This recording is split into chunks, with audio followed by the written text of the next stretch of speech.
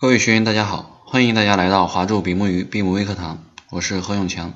从今天开始呢，由我为大家带来 Navisworks 施工管理应用。从这个字眼中呢，我们可以看得出来，这套教程主要是教大家如何去应用和管理闭目模型，对我们的设计和施工过程有很大的帮助。那在正式开始之前呢，请大家扫一扫屏幕右下方的二维码，关注一下华住比目鱼的官方微信平台。好，话不多说，我们正式开始我们的教程。那这套教程呢，主要分为四个部分。第一部分是基础与简介，第二个部分是高级应用，第三个部分是动画制作，第四个部分是施工模拟。好，我们从第一个部分开始讲解。那在第一个部分中呢，我们有以下几块啊，第一块是 NetWorks 概述。然后是基础，再过来是常用功能，再过来是梳理总结。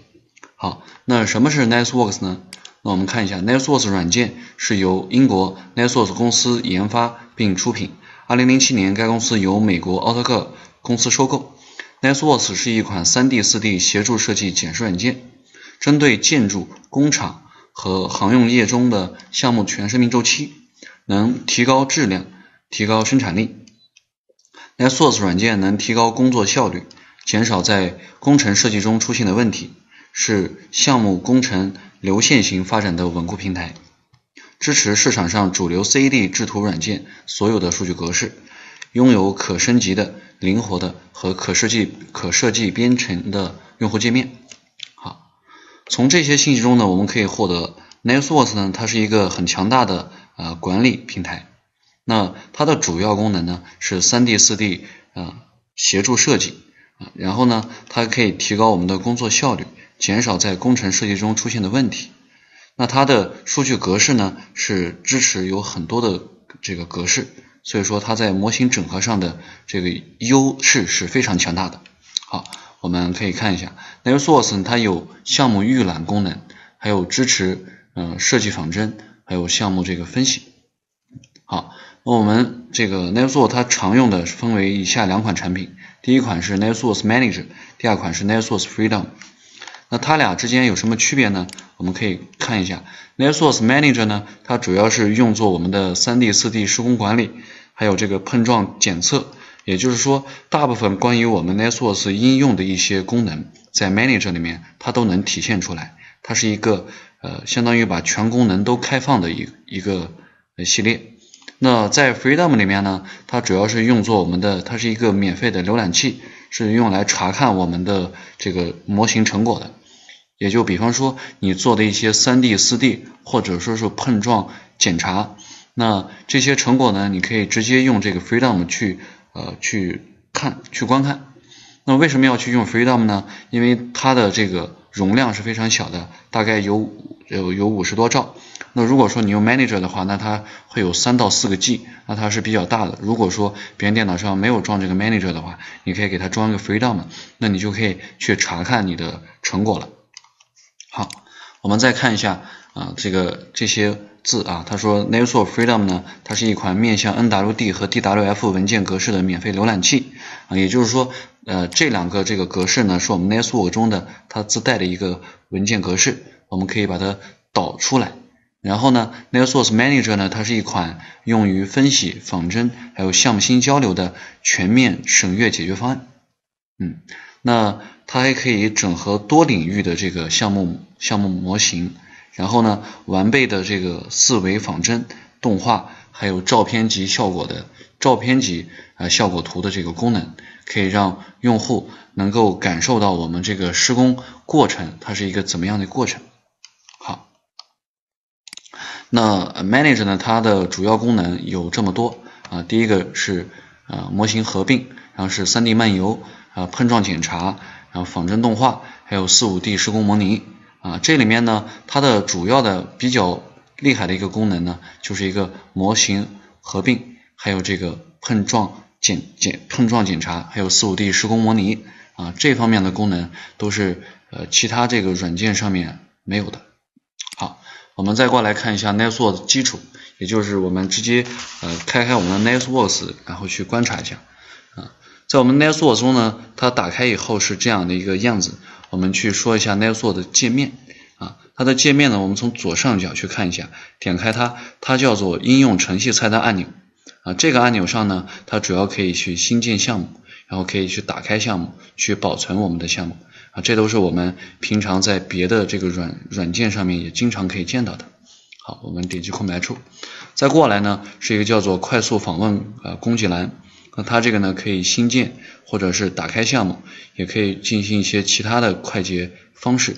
好然后这边呢是我们的标题栏，嗯，这边写的是 Manager 2015，然后这边是无标题，是因为我们现在还没有打开任何项目啊。然后再过来看一下啊，右边的这块，这块叫做信息中心。那这一块呢，主要是和我们的这个叫奥特克360去相关联。就如果说你的模型想放在云端的话，那你可以用一个。账号去登录这个奥特克三六零，然后把你的模型传到这个平台上去。那你在别的端，比方说是啊这个用 iPad 去观看这个模型，你就可以实时的去看到你所传的这个啊模型了。好，然后下面这一块呢是我们的叫功能区，这里面包含了我们 Nailsword 里面所有的一些功能，比方说要制作这个动画啊，或者说是一些渲染的。或者就像我刚才说的叫做 Beam 三六零啊，它里面叫做 Beam Glue，这个就是我们用作在平板上去看的啊。然后呢，比较大的这一块叫做啊场景视图啊，这个是用作显示文的这个模型啊。再过来这边叫导航栏啊，也就是可以去，比方说是去放大模型，或者说是。这个局部去观察我们的模型，啊，这上面呢叫做 VCube，它是可以旋转我们的这个模型的。这些东西跟我们的 Revit 上的啊都是差不多的。然后呢，啊，我们比方说选择这个选择树，然后点击集合下面的管理集，啊，它会开开我们的这个叫做可固定窗窗口，我们可以把可固定窗口给它拖出来，这个也可以给它拖出来。啊，哎，我们如果说拖动不了，把这个给它勾掉，然后再去拖动它。啊，这时候我们可以把它固定在某一个地方，我们放在这个位置，把它拖到这，拖到这个点上以后，它就放在这了。我们可以去固定它。好，我把这个关掉，啊，这个也关掉。好，这是我们的 Nailsworks 界面。再过来呢，我们要去呃说一个问题，就是在查看里面有个叫做工作空间啊，这个概念是什么呢？也就是说，我们点击下面啊，比方说我们选择的是一个叫做 Nailsworks 扩展。好，点击它以后，它会把 Nailsworks 重新开一遍，然后会把我们呃它事先所预预设好的一些窗口全部都开开这就是我们 Nailsworks 呃这个工作空间里面的叫做 Nailsworks 扩展。好，那点击这个查看以后，比方说我们再点击它，选择叫 Nailsworks 标准。好，那它就会把所有这些东西都开开，但是呢，它没有给我们展开到这个界面上去啊，它是这种最小化的。这样的一个状态啊，所以这个工作空间这个概念，也就是说我们会预先预先的设置好一些值啊，然后啊，比方说我们的窗口应该是开着还是关着，开什么窗窗口，关什么窗口啊，它都会在这个里面预先给它设置好啊，或者说我们可以啊去点击保存，就是比方说我们点击它把它给关掉，这个呢把它也关掉，然后我们自己去保存一个工作空间。然后我们再去项目中点击到更多工作空间，然后去载入我们刚才所保存的那个工作空间。那这样的话，我们就可以去自定义我们的用户界面。嗯，这是工作空间。好，那再过来呢，我们点击啊这个应用程序按钮，然后选择这个选项按钮。进来以后呢，我们看一下所有关于这 Nailsworks 设置上的一些问题，都是在这个里面去找的。比方说，我们要去设置单位，或者说设置轴网啊，或者说设置导航栏，那我们可以根据我们的需要去在这个上面去变动。好，我们点击确定。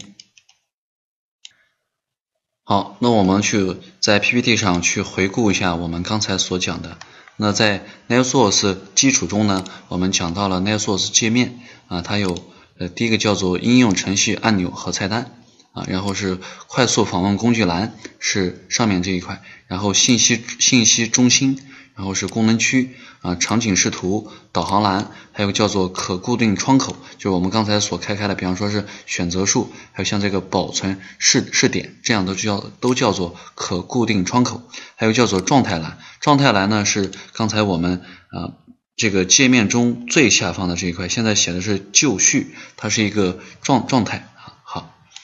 我们再往下点击它。我们再看一下刚才所说的那个工作空间，